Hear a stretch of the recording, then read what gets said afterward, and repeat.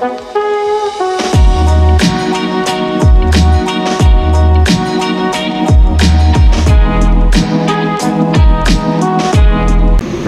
Welcome to our channel तो guys finally Ladakh की trip complete हो गई है. 6,329 किलोमीटर हमने कवर कर दिया है. और काफ़ी टाइम से अभी मुंबई में आके भी मैं गाड़ी चला रहा हूँ तो लगभग 7,000 किलोमीटर हो गई है. मैंने कहा चलो फोर्थ सर्विस के लिए भी आ जाता हूँ. और अभी फिर मुझे एक ट्रिप करनी है गुजरात के लिए तो वहाँ पर भी मेरा कुछ पंद्रह सौ किलोमीटर के आसपास होगा. तो मैंने सोचा क्यों ना चलो आपको एक वीडियो बना के दिखा दूँ जिसमें मैं फोर्थ सर्विस में क्या क्या करने वाला वो सब आपको बता देता हूँ. मेरी बाइक पीछे हो ही रही है. तो चलिए स्टार्ट करते हैं फोर्थ सर्विस तो फिर देर किस बात की? गेट स्टार्टेड गाइज़ अभी गाड़ी खुल चुकी है। सबसे पहले निकला है एयर फ़िल्टर और एयर फ़िल्टर अभी फ़िलहाल उतना गंदा नहीं हुआ, मगर फिर भी मैं चेंज करा रहा हूँ, क्योंकि बीच में तो मैंने ऑफकोर्स उमलिंगला में चेंज किया ही था। आई जो हम मोटरेबल रोड पे गए थे। स्टिल मैं चेंज करा लेता हूँ। अभी उसके बाद सबसे पहले हम लोग करा रहे हैं थ्रॉटल क्लीनिंग ये सबसे इम्पोर्टेंट होता है। तो इस तरीके का लिक्विड आता है। इसी से होता है आपका पूरा एयर सिस्टम क्लीन जिसे हम थ्रॉटल क्लीन कहते हैं। तो ये पूरा थ्रॉटल क्लीन कर देगा ये इनका सिस्टम है। तो अभी लिक्विड डाल रहे हैं। दिखने में तो ये कोई कोल्ड ड्रिंक के जैसा एप्पी फिज के जैसा दिख रहा है। ओके यहाँ पर लगाया हुआ ये सिस्टम जिससे थ्रॉटल क्लीन हो रहा है। और बहुत ही गंदी बदबू आ रही है। तो अब मैं थोड़ा बाहर जाता हूँ। तो गाइज़ यहीं से रखी हुई है सारी बाइक्स और वो रखी है मेरी बाइक जिस पे शरीफ भाई अभी काम कर रहे हैं। इसके पहले पीयूष ने किया था। अभी वो कर रहे हैं थ्रॉटल क्लीन तो इसलिए मुझे वापस अंदर आना पड़ा क्योंकि उसकी बहुत ही गंदी स्मेल मारती है और वो बोलते हैं स्पाक वाक आने के चांसेस होते हैं। तो वीडियो तो मैं आपको दिखा चुका हूँ कि क्या हो रहा है। तो जैसे ही ये होता है तो फिर नेक्स्ट स्टेप क्या है? चलिए आपको वो दिखाता हूँ। ऐसा कोड आता है। अच्छा। ई सी यू रीमैपिंग कर रहे हैं? वो कोड कोड आता है ऐसा यूएस करना पड़ता है। ओके तो अभी थ्रॉटल क्लीनिंग कंप्लीट हो गया है। अब मेरी थ्रॉटल रिस्पॉन्ड एक नंबर हो जाएगा। अब इतना लंबा चल के आए तो थ्रॉटल क्लीनिंग करवाना तो बनता है। तो गाइज़ ये आ गया है नया एयर फ़िल्टर ये पुराना है। आप देख सकते हैं, बहुत ज़्यादा गंदा तो नहीं हुआ बट स्टिल मैं चेंज करवा लेता हूँ, क्योंकि अभी फिर मुझे लंबा जाना ही है। बीच में चेंज कराने से अच्छा पहले ही करा लो। ये लगा रहे हैं हम एयर फ़िल्टर ये लो, लग गया। परफेक्ट सही। मैंने थोड़ा ऑयल वॉयल भी लगा दिया क्योंकि नट वगैरह जो थोड़े टाइट होने लगे थे क्योंकि आप देख ही सकते हो कितना गंदा हो गया है। तो गैस पूरी फेयरिंग निकाल दी गई है, वो वहाँ रखी हुई है फेयरिंग गाड़ी की। क्योंकि अभी पूरा फ्यूल फ़िल्टर चेंज होगा और साथ ही साथ में इसी के अंदर होता है आपका स्पार्क प्लग। बाहर से कोई चोरी नहीं कर सकता, नहीं तो पहले क्या होता था, लोग पल्सर वगैरह में क्या यहाँ से मार लेते थे। तो अंदर ही है तो वो भी हम चेक कर लेते हैं, बदलने की ज़रूरत है कि नहीं। हालाँकि जाने से पहले मैंने बदला था। एनी अब ये सब खुलता है और अब इसका ताम शुरू होता है। तो गाइस खुल चुका है टैंक और ये है फ्यूल फ़िल्टर अब ये चेंज करेंगे। तो गाइस लग चुका है नया फ्यूल फ़िल्टर ये पुराना फ्यूल भाई के हाथ में है और अभी भाई पकड़ के बैठे दो जन लगते हैं इसको चेंज करने में। ब्रांड न्यू फ्यूल फ़िल्टर लग गया मस्त वाइट वाइट गाइस इसके ही अंदर होता है स्पार्क प्लग बेस्ट पार्ट ये कि कोई चोरी नहीं कर सकता लेकिन वही है कि अगर चेंज करना है तो पूरा टैंक पूरा डबरा बाहर निकालना पड़ेगा आपको। ये निकला अपना स्पार्क प्लग देख लो भाई क्या हालत है उसकी। गाइस आप स्पार्क प्लग की हालत देख सकते हो पूरा काला भुंज के काला हो गया है वो बिल्कुल।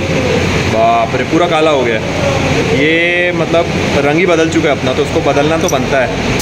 अच्छा गाइज़ ये पत्ता वाला इसका आता है और जो कंपनी देती है थोड़ा मोटा होता है और ये जो है ये बॉश कंपनी का है।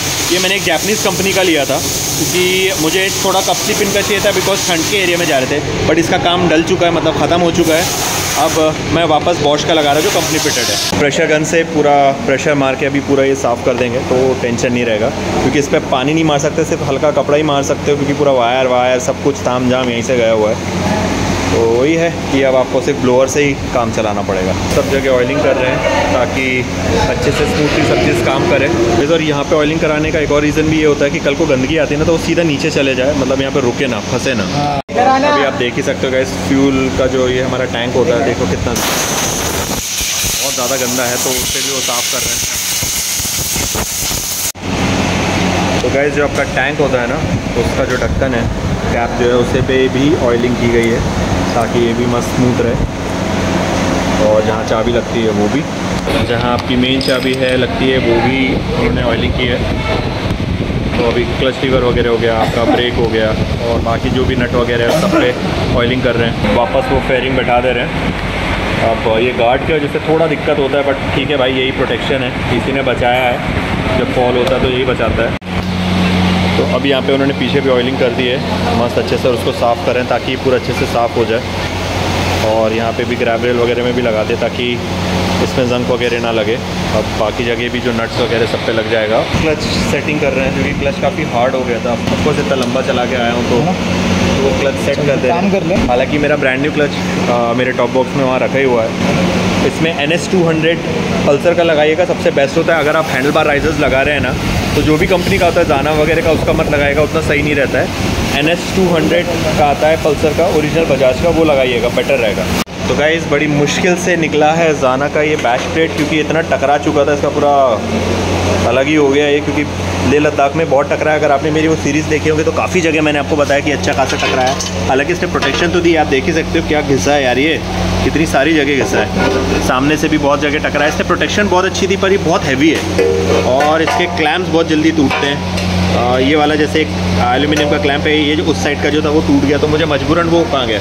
वो लोहे वाला मुझे लगाना पड़ा था ये लगा ही हुआ है। ये लोहा वाला फिर मुझे लगाना पड़ा था ये भी टूट गया था फिर इसको वेल्डिंग करके चलाया। मैं जानता हूँ लद्दाख मैंने कैसे कंप्लीट किया है। तो जाना को उसके क्लैम्प्स पे ध्यान देना चाहिए। फिर अगर स्पिट्टी वैली का जो प्लान है वो अगर करना है तो तब मैं इसको वापस लगा लूँगा।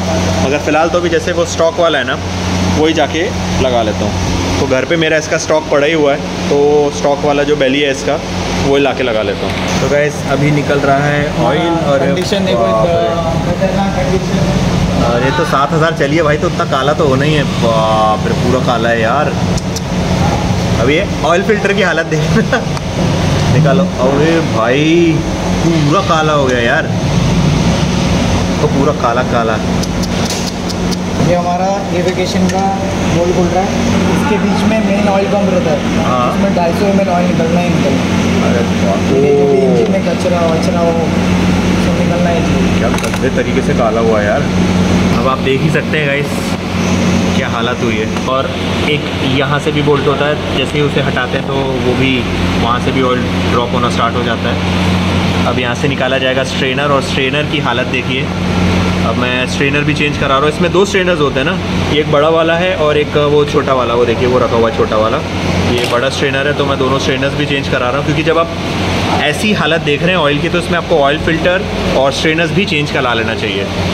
ज़्यादा महँगा नहीं पड़ता है यार सस्ता ही होता है। तो गाइज़ ये ख़राब वाला स्ट्रेनर हमने निकाल दिया है और ये है हमारा ब्रांड न्यू आप देख सकते हैं पूरा ट्रांसपेरेंट है। बढ़िया मस्त वाइट वाइट लगा दो भाई छोटा वाला स्ट्रेनर और उस साइड लगता है। नया ऑयल फ़िल्टर बढ़िया ये लग गया अपना नया।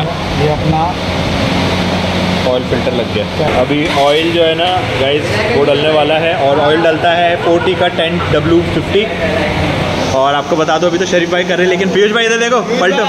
इन्होंने करके दिया था थर्ड सर्विस मेरी लद्दाख जाने से पहले इन्होंने बाइक तैयार की थी। चीफ मैकेनिक है भाई अपना। और अभी शरीफ भाई कर रहे हैं। तो ऑयल इसमें डलता है 1.7 लीटर अभी वो खोल रहे हैं नट क्योंकि अब इसमें ज़रा डिस्क पैड्स वगैरह हैं वो सब भी चेक कर लेंगे और जो टायर वगैरह उसका थोड़ा अलाइनमेंट वगैरह भी देख लेंगे। हालाँकि गाड़ी ऐसी कोई वॉबल तो कर नहीं रही है बट स्टिल मैं चेक करवा लेता हूँ फ्रंट और बैक दोनों। तो अभी डिस्क ब्रेक भी निकाल के उन्होंने घिस दी है और जो ये डिस्क है उसको पेट्रोल से उन्होंने पूरा साफ़ कर दिया है। तो अब बढ़िया ब्रेक्स लगेंगे। तो शैम्पू लगा के अभी उसको पानी से भी धो रहे हैं। उसके बाद जब उसको ड्राई करके फिर वो घिसेंगे। तो अभी उन्होंने ऐसा ड्राई कर लिया है, अब वो घिसेंगे। तो ऐसे पॉलिश पेपर से भी वो घिस रहे हैं तो जो भी कार्बन वगैरह डस्ट होंगे ना, वो सब निकल जाएगा। काफ़ी लाइफ बाकी है यार, लद्दाख से आने के बावजूद भी।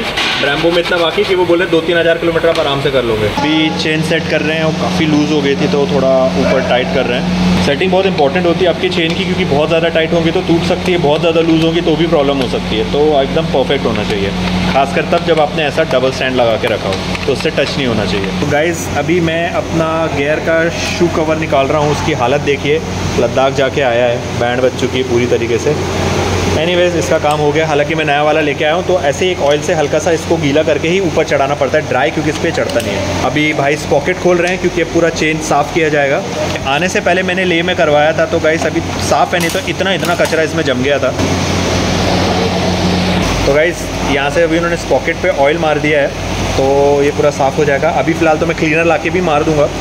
धुलने के बाद गाड़ी फिर वापस मैं लूप करूँगा। तो अभी क्लीनर से इसको साफ़ किया जाएगा। मैंने ले आया है अपना मोट्यूल का क्लीनर सबसे पहले अभी क्लीनर ही वो इस्तेमाल कर रहे हैं। क्योंकि लगा के रख के छोड़ना पड़ता है इसको। कम से कम पंद्रह बीस मिनट, आधा घंटा। क्योंकि भी बढ़िया मस्त क्लीन हो जाएँगी मेरी चेन और आप गंदगी देख ही सकते हो कितना गंदा निकल रहा है। तो नीचे जो गिर रहा है ना, ये इसकी गंदगी है।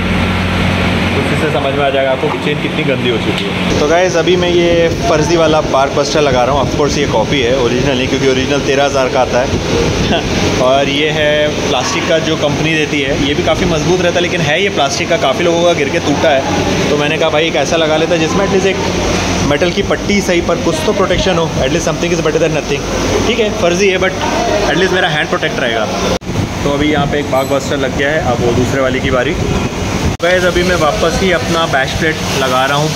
ये मैं वापस ले आया। थैंक मैंने फेंका नहीं था और इससे मैंने लोहे लंकाड़ भी नहीं दिया। तो अब यही चीज़ मैं वापस लगा ले रहा हूँ। और फिर अगर स्पिट्टी का जब मैं अगर ट्रिप मारूँगा, तब वापस अपनी मेटल वाली लगा लूँगा। पुराना बैश प्लेट लग तो गया है, लेकिन एक पार्ट जो है वो थोड़ा एक्स्ट्रा हो गया, वो इसलिए क्योंकि मैंने यहाँ पे डबल स्टैंड लगाया था बट इट्स ओके ये थोड़ा सा ही पार्ट वो कट कर रहे हैं। तो प्लास्टिक का ही पार्ट कुछ कट हो रहा तो इससे कुछ होना तो है नहीं। मैंने कहा, भाई, करा लो, कोई दिक्कत नहीं। तो ये रहा अपना प्लास्टिक का पार्ट जो कट हो रहा है। तो अभी एग्जैक्ट इसमें बैठ जाएगा और ये बढ़िया ऊपर हो जाएगा। तो वो साइड का कट गया। अब ये साइड का भी काटना पड़ेगा क्योंकि यहाँ पे अड़ रहा है तो ये कट जाएगा। हालाँकि इससे कोई लेना देना नहीं होता है। बट अभी भाई अपनी मसल्स का इस्तेमाल करके आराम से बिना कुछ गर्म किए इसको काट दे रहे हैं तो ये कट जाएगा। तो गैस अभी गाड़ी का सब कुछ हो गया है और अभी शरीफ भाई टेस्ट साइड लेके आ जाएँगे। सारी जो चीज़ है वो सब चेक हो गई है। अब वो नेक्स्ट कब डालना है वो उसका भी डाल दे रहे हैं कि नेक्स्ट सर्विसिंग कब होंगी। तो अभी शरीफ भाई भी टेस्ट साइड लेके आ गए हैं गाड़ी एकदम परफेक्ट हो गई है। और क्या लग रही है यार बढ़िया।